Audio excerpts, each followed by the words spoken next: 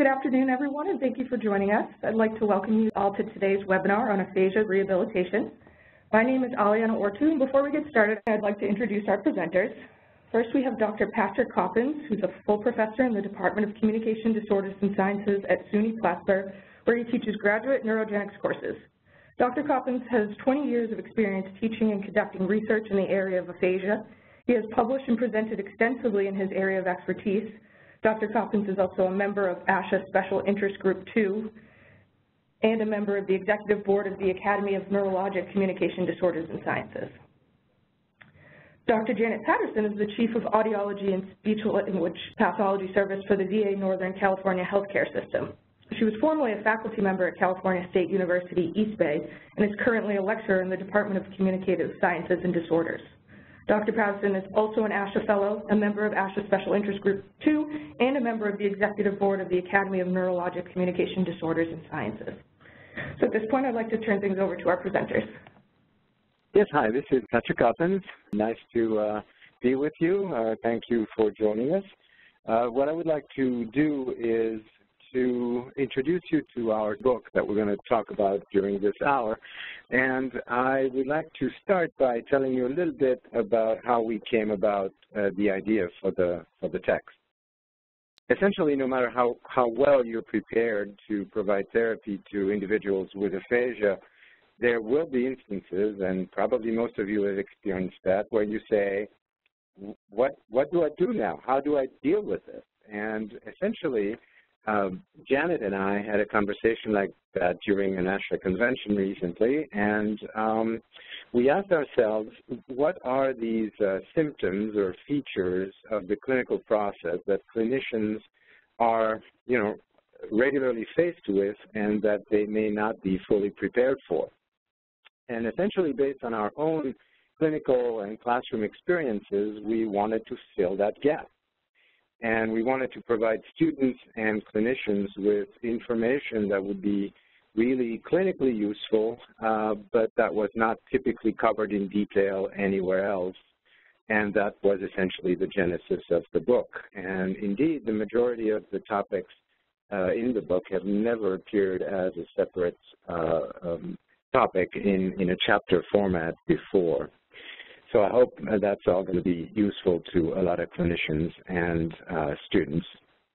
So after we came up with a list of topics, um, Janet and I looked for a logical way to organize this list, and we noticed that we had simply two different types of things.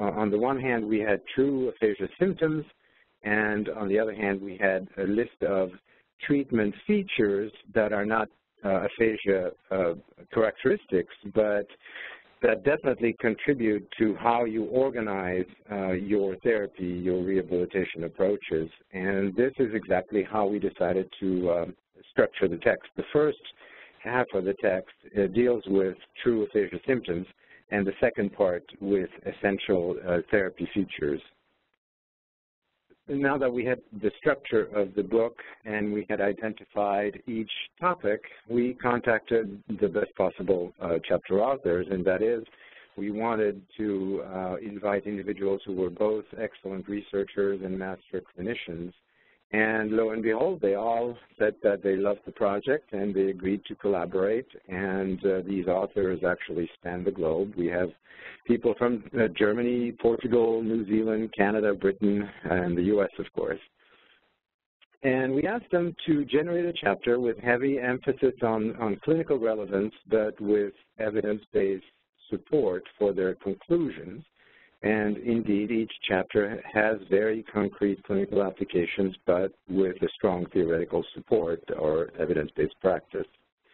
Uh, to make the chapters a little uh, more uh, dynamic, uh, Janet and I asked that each chapter include a fictitious case illustration, and the purpose of that was to provide a, a, a a real-life example, a concrete example of the decision-making process, the linear decision-making process, and to highlight the important clinical conclusions uh, of the chapter.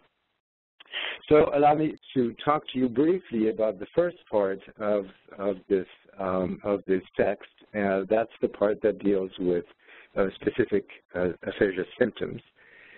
so the, for example, the topic of uh, perseveration and paraphasias are treated as separate topics, uh, each in a chapter rather than under the larger umbrella of naming therapy like it's usually done. Um, treating these issues separately uh, allowed the authors to describe clinical strategies very specific to each each topic. So the first, if you look at the first three chapters, uh, Jackie and Mike and Jane offered uh, very clinical um, uh, approaches and programs to minimize the occurrence of perseverations, paraphasias, and neologisms, respectively.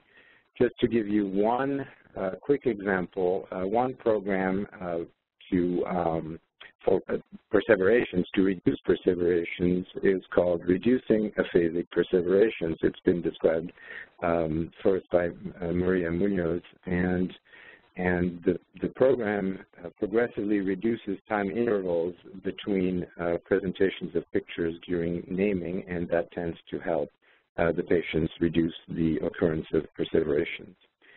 Um, in chapter four, uh, Yasmin and and uh, Angie uh, did the same thing for agrammatism. They present strategies and programs specifically designed to improve agrammatism. Uh, as an example, again, uh, something called mapping therapy uh, that they describe and, and, um, and clinically focuses on, on the verb argument structure and facilitates the production of more complete sentences by including all the elements that the verb uh, demands. Uh, so the last two chapters, uh, echo phenomena and, and neurogenic stuttering, are a little bit less frequent uh, as symptoms, but usually when when the clinicians encounter those, they have a very hard time figuring out what to do. So uh, in this case, for the chapter on echo phenomena, uh, Marcelo focuses uh, on the transcortical aphasias and offers not only strategies to inhibit repetition or echolalia when that is needed, but he also interestingly uses repetition. He, he discusses the use of repetition as a rehabilitation tool. And uh, Luc and his colleague um, argue in their chapter that uh, neurogenic stuttering is uh, more frequent than clinicians think, and they present a very interesting and thorough assessment battery that is very useful clinically. And of course, they also make clinical recommendations um, and these recommendations actually, interestingly, also have similarities with what what happens during uh, therapy for developmental fluency problems. So that's for the, uh, the, the first part of challenging symptoms, and I will let Janet talk to you about the second part of the book that deals with uh, clinical challenges and uh, treatment components. Janet? Thank you, Patrick. And I would like to say welcome and thank you also to everyone who's joining us this afternoon. In the second part of the book, we, as Patrick mentioned, thought about um, important elements of the therapy enterprise, um, pieces that are not specific to disorders themselves, but are important to balancing and creating good therapy um, uh, treatment programs and um, working with clients uh, collaboratively. In these chapters, we begin with um, one on generalization, um, in which Patrick and I talk about um, how we can actively facilitate that generalization. We know that that's the ultimate goal of therapy. That is what people want to do, but often it's left until later in the game, and I think Patrick and I believe that we should be planning for generalization from the beginning. And in this chapter, we talk about the different kinds of generalization and specific things uh, one can do in therapy to facilitate the generalization. Sarah Wallace um, speaks nicely in her chapter on multimodal strategies that uh, facilitate communication. While we all know about AAC, um, we don't always know how to maximize it in everyday clinical practice, and I think some of Sarah's suggestions will be welcomed by um, uh, clinicians working with patients with aphasia. Treatment intensity, the third chapter um, by myself and two colleagues, Stacy Raymer and Leora Cherney. Uh, you must have heard or may have heard a lot about intensity in recent months. And certainly the treatment intensity or the dosage can affect the therapy outcome. But what we don't know so much about is how do we determine the best intensity for the best treatment. And one of the interesting things that this chapter does is look at intensity from multiple perspectives. And if we vary one aspect of the dosage, what happens to the overall intensity level and the uh, patient outcomes? And if we instead vary in a different way, how do the outcomes change? Jackie Hinckley wrote a chapter um, about combining therapy approaches, specifically combining neuropsychological and psychosocial goals in a coherent rehabilitation approach. approach. Her point is that when we work collaboratively, collaboratively with a patient, and when we think about the goals that the patient wishes to achieve, then we're better at selecting the treatments that will achieve that goal than if we follow a linear sort of path in selecting treatments that address individual goals, but perhaps not the uh, overall functional goals of a patient. By now, everyone should be somewhat familiar with evidence-based practice. Yet the application of that in clinical practice still can be vague for many clinicians. And in the chapter on evidence-based practice, Patrick and I offer some practical advice on how to do that, how to consider all three points of the evidence-based practice triangle. Also in this chapter, we consider broader issues of evidence-based practice, such as um, evidence-based practice and justice. How do we represent people who are um, outside the, um, at the ends of the continuum or outside the norms, if you will, of uh, communication functioning. The last, uh, next chapter is on motivation. And intuitively, we all believe that a patient motivation is important to therapy success, but we're rarely taught the strategies to maximize this. And often we find clinicians will say, the patient uh, has plateaued because they're not motivated. Mike Beal and his colleagues present a very thoughtful uh, theoretical review of this particular problem and then concrete advice about how to identify uh, specific motivational challenges for patients and actions we can take as clinicians to improve the motivation of a patient as we engage collaboratively in treatment. And the last chapter by Patrick and Nina Simmons-Mackie focuses on informal testing, which is the intermediate step between formal standardized testing and therapy. Nina and Patrick dissected this process and describe a practical way of analyzing and applying it to patients with aphasia. In the rest of this webinar, we're going to focus on two of these topics from the second half of the book, generalization and dosage and intensity. And I'll turn it over to Patrick. Yes, thank you, Janet.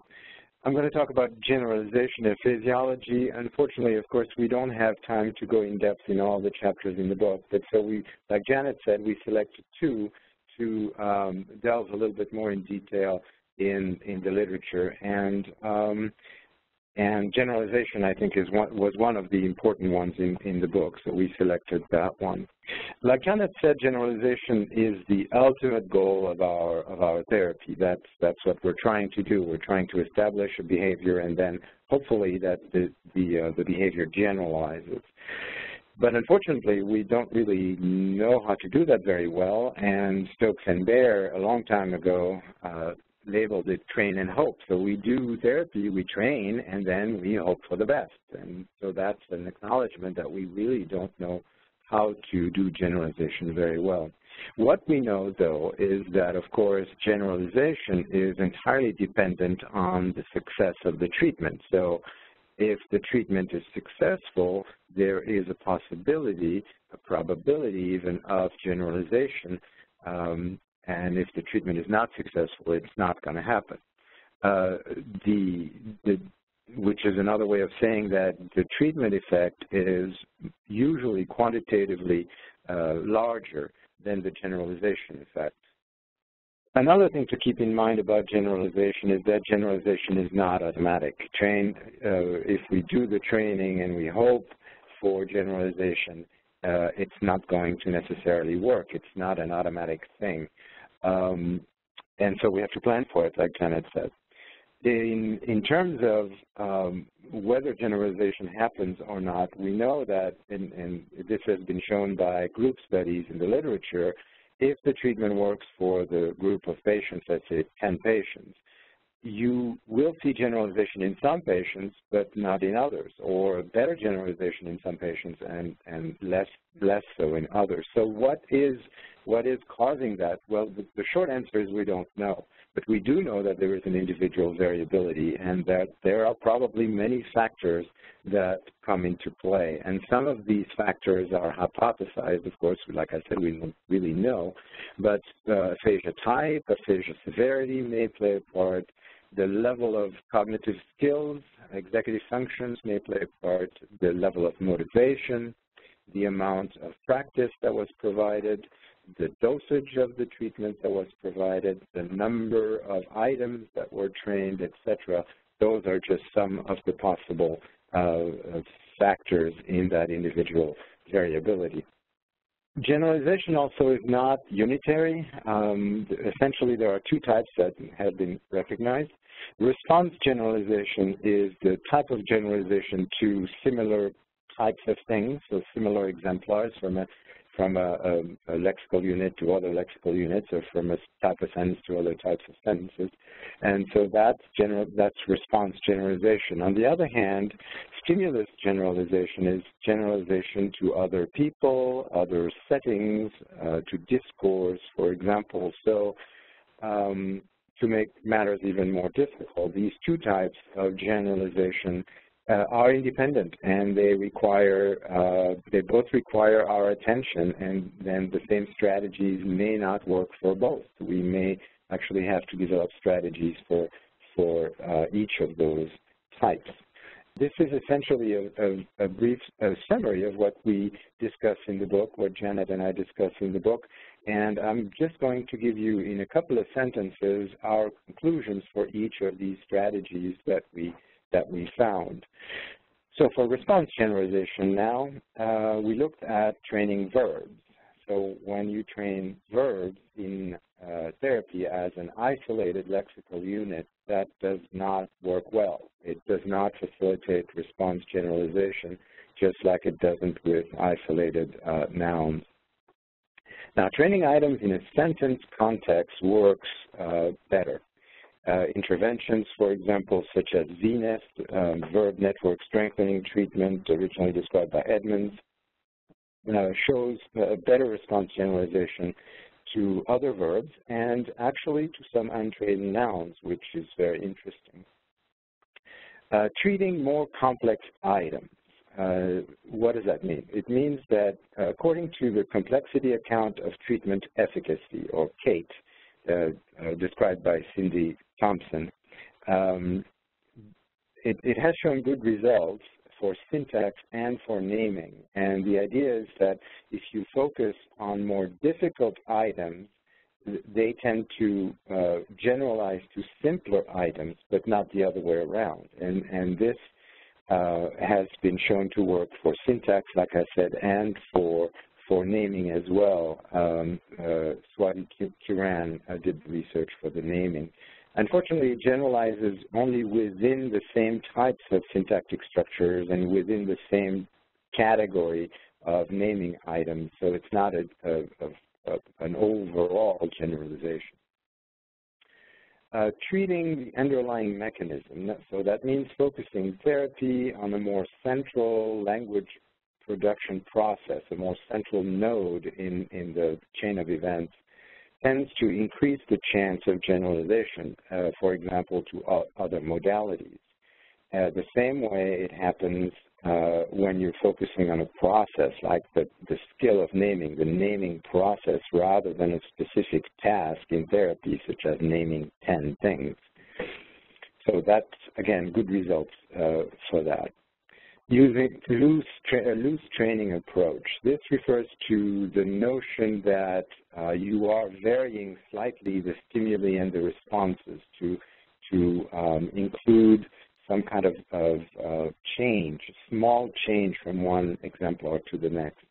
Um, and there, there, unfortunately, there are not a lot of data on this, but overall, the generalization results tend to be better than just simply drilling the, the, the, same item the same way over and over again. Uh, one example is response elaboration training, RET, that Kevin Kearns uh, devised a, a, while, a while back. So that's a good example of such an approach. Internalizing the strategy, no doubt that uh, any strategy that the patient applies more readily to a wide array of items will show better generalization than when the patient has to rely on item-specific responses. And um, semantic feature analysis, SFA, is a good example in, in, this, uh, in this strategy, uh, the, the uh, SFA by Mary Boyle originally. And finally, training enough exemplars. Um, quantity itself is not a good variable. Um, it, it, it, has to be paired with, with an effective approach. Uh, so if, if, you, if you have an effective approach, then, then it's going to work. But just make doing the same thing over again, just quantity quantity-wise, is not is not a good uh, strategy. So that was for response generalization. Now let's switch to stimulus generalization, so the generalization to other people, other settings, or discourse. And the strategies that we were reviewing are, again, train verbs. What happens when you train verbs in isolation? Not much. Um, the same as for response generalization, training verbs in isolation uh, does not promote stimulus generalization in discourse, for example. Now, training items in a sentence context, on the other hand, works better. Um, it's a better option for discourse generalization, although, uh, to be fair, a discourse level practice is needed uh, to, uh, to establish this generalization as well. Uh, adding discourse or conversational training. Um, it's, it's pretty obvious and it has positive results but um, the clinician has to spend some time building intermediary steps between the therapy room and other conversation partners or other situation. Um, a, a, broad generalization uh, just by adding discourse or conversation training in the therapy room does not automatically guarantee a, a generalization. So there are, the, the the therapist, the, the SLP, has to build a series of intermediary steps. Of what those steps are exactly, we don't know. I'll, I'll, I'll give you a couple of examples a, a little bit later, but uh, we don't have an exhaustive list, unfortunately. Uh, treating more complex items, again, works well, uh, but we only have data for syntax. Uh, there are no data for, for naming in this particular instance. Um, but for syntax, um, it, it tends to improve uh, patients' discourse. So when you treat more complex items, there is a generalization to, to discourse. The, the patients tend to, tend to use uh, more of those sentences in discourse. Treating the underlying mechanism, this approach uh, works uh, just as well for stimulus generalization uh, than for uh, response generalization, and this may actually be one of the few approaches that works equally well for both types of, of generalization. Uh, using loose training, again, it's an, this is maybe one example of those steps that I was talking about a minute ago. So it, it, it, may be, it may be facilitating stimulus generalization because it reflects more the variability of a more natural interaction. Um, uh, so in isolation, it's probably not going to do it, but as that as as one of the intermediary steps between the therapy room and the other environments or other people, that that might work well. Um, so you need you need to use another approach with this one, like uh, internalization of a strategy or uh, targeting the appropriate underlying mechanism, for example. Adding home practice, again, we've been doing this for, for years, um, but like I said before, more is, is less crucial than how the home program is run. Uh, so the clinician should use home practice as an opportunity uh, not not only for more practice, but also for adding, for example, something like loose train a loose training component uh, that will be very useful. Um, as an example, in this particular case, um, the, um, the constraint-induced aphasia therapy of CIAT recently added to their program what they call a transfer package. Um, that's their label, and that focuses essentially on the work that is done outside the therapy room. So they really emphasize that part. So that's a good example here. Uh, using functional items, again, we've been doing this for years, um, and uh, there's no doubt that it's useful, um, but it, again, needs to be interpreted as, as another bridge, as another intermediary step uh, between the therapy room and the successful uh, stimulus generalization. So that's it for the generalization chapter, um, and now Janet is going to address the, another of the chapters in, in the book, treatment intensity. Janet? Thank you, Patrick. So we all know and believe that um, selecting an appropriate treatment technique and determining patient candidacy for that treatment are important to our success. But what we find um, is that clinical research remains largely silent on how do we do that and how do we think about the best match of the patient, the treatment type, the dosage, and the intensity of treatment. We don't have answers uh, at this point, but we are gathering a lot of evidence. And in fact, there are an increasing number of studies in, uh, that look at the intensity of treatment delivered. One of the systematic reviews recently reported modest but mixed evidence, um, um, evidence favoring intensive treatment. However, when you look more closely at that, there are many factors and, uh, that influence the intensity, and there are also variabilities, uh, there is variability among patients. So when we think about our clinical research, we can compare our patients to patients in the research literature, matching them based upon their demographics and determine patient candidacy. But what we haven't done a lot uh, of is matching dosage and intensity of the program. If you think about your own particular client, you can line your client up with against the uh, clients, the patients, participants in a model research program, a model treatment program, and determine that your patient meets all the demographic characteristics. But what about the, the uh, program delivery characteristics? Can your program, for example, match the dosage and the intensity of the model treatment program? And if so, that's great. But if not, um, then that says that we must do some adjustment in uh, how we're thinking about the, the treatment that we're delivering in any particular situation. So all of this is leading to questions, and I said we have more questions than we have answers at this point. How do we define intensity? And it might seem an easy uh, term to define, but once you begin looking beneath the surface, it's not so easy. Do we think about it in terms of hours per day, or is it number of days per week? Um, there is no consistent definition of high versus low intensity. Randy Robey published a number of years ago a paper and spoke that, uh, wrote that anything over two hours of therapy or five hours of therapy a week is intensive. Another paper came along a few later, few years later by Bhogal et al. and showed that it's eight hours of therapy. So we don't know exactly what is high intensity or low intensity treatment. So if we don't know, how do we compare? Many of the studies only evaluate one level of intensity or intensive treatment. If there's only one level, then we don't know how affect how the uh, intensity affects the treatment and, and the outcome.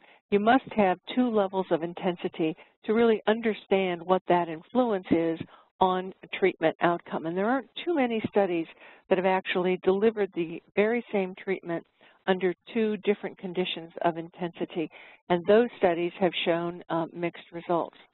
So how do we think about intensity um, versus dosage in respect to our own clinical uh, environments?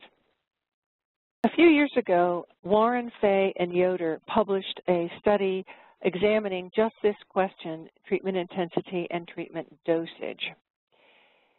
This paper was focused on child language, but the ideas in it are applicable to all sorts of treatment. And the analogy is that it is medication dosage. You're given a medication in a certain amount of dosage in a certain schedule with the expectation that if you follow that dosage schedule, you will achieve a desired outcome. That's the way that Warren, Fey, and Yoder have looked at treatment dosage in um, speech-language pathology, but I assume you can immediately see the challenges to using that analogy um, because we aren't looking at single little medications that can be delivered in a very prescribed dosage. So what Warren, Fey, and Yoder have tried to do is um, define dosage as best they could. And here's the, the, the list of dosage or definitions that you, um, you can see on the screen. This is the, these are the terms that will take the most amount of, of thought uh, as you prepare to calculate the intensity of your treatment. What is your general approach or your, your specific technique? That would be like our uh, response elaboration training or, or semantic feature analysis or whatever, a general approach you're using. Then you define what's called the teaching episode. And it, a teaching episode, it contains one or more intervention acts that you have believe you, you believe um, will change a behavior and achieve a goal. So if the patient engages in this intervention act, something will happen neurologically, resulting in behavioral change and goal achievement. Then you have to define the active ingredient in the treatment. And that's not so easy because much of it is about the processes that we believe, presume um, are going to occur to enhance new learning. Those processes, an example would be um, improving semantic relatedness. Now, we can't actually measure that, um, and we can't really focus on what the exact active ingredient is, but as part of our thinking to calculate intensity, we must be aware of what we think is going to happen during the time we're doing the treatment. And then dose form is the typical task within which we deliver these particular teaching episodes. Using those definitions, then, we can begin to calculate treatment dosage.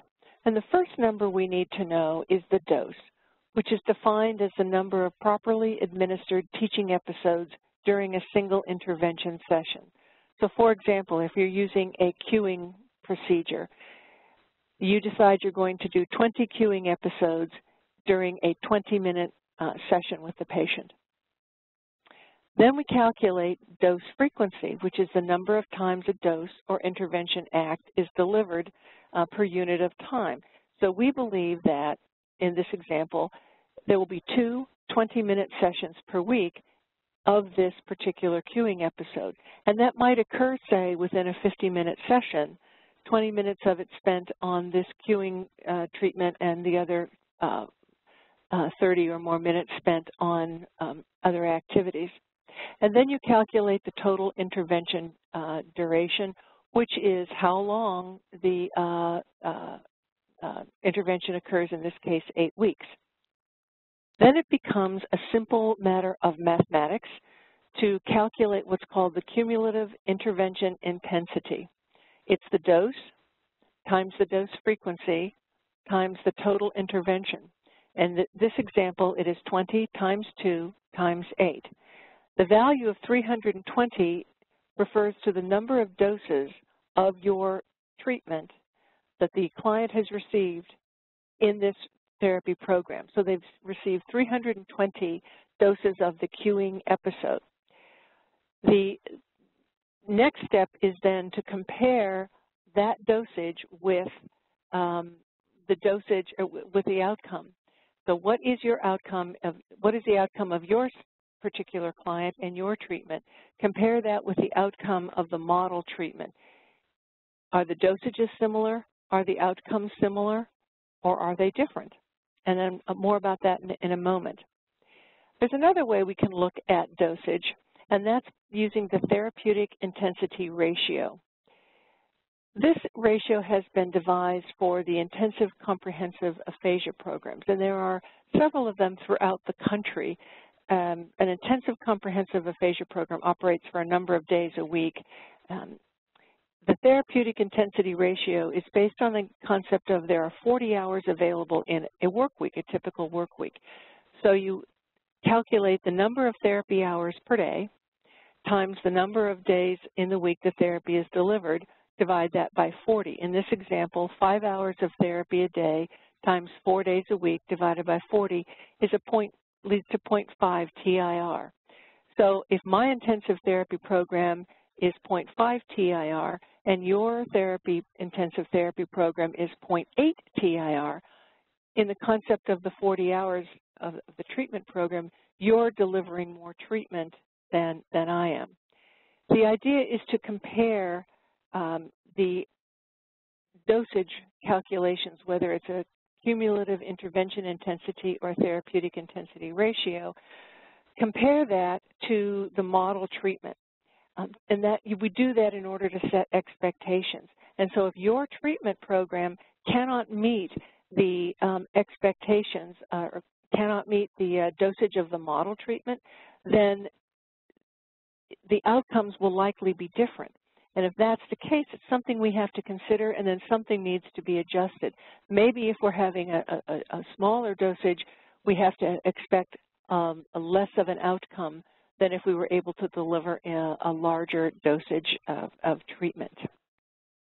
So in summary, although you had a, a high-level view of generalization and, and dosage and intensity, uh, Patrick and I believe that aphasia rehabilitation has progressed in so many important ways, although many, many, many questions remain. And as Patrick said earlier in this uh, webinar, some of those are not addressed in graduate studies. Other of these questions are contemporary topics that emerge as we become better clinicians and as our field accumulates more knowledge. So we hope that this review and this text will be of value to you as you address these questions in your daily practice. Here's a list of the references that we um, included on our slides that you can cite or look up at your leisure. On behalf of Patrick and myself, we thank you for your attention and your time today, and we'll turn it back over to Aliana. Thank you, Janet. Thank you, Patrick, as well. That was a great presentation.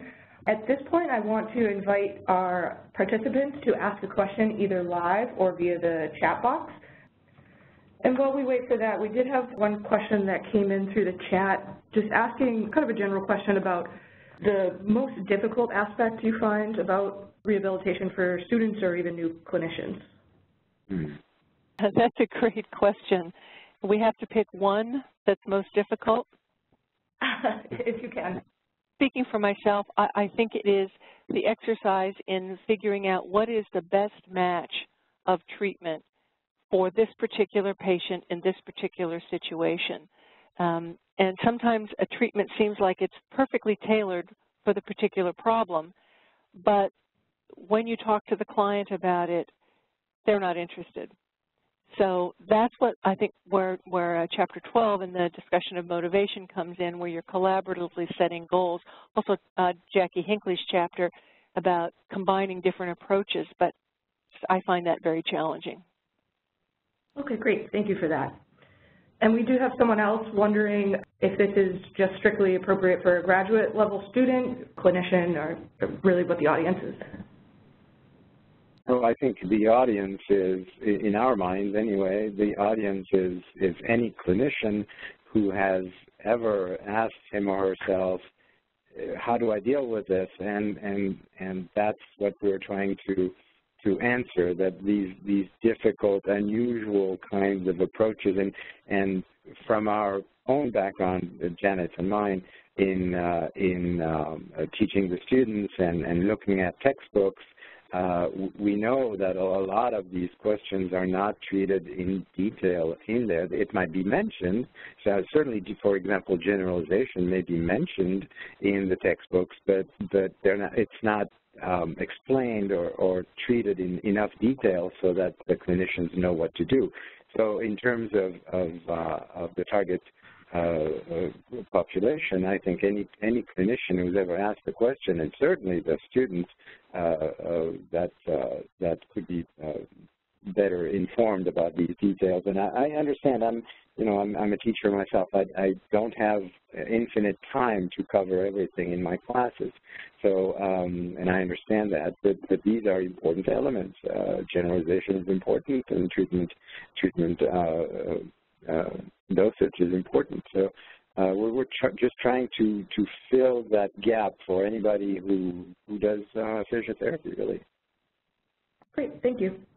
And Betty, do we have any questions on the line? There are no questions over the phone. Okay, well, those were the only two that we received via the chat.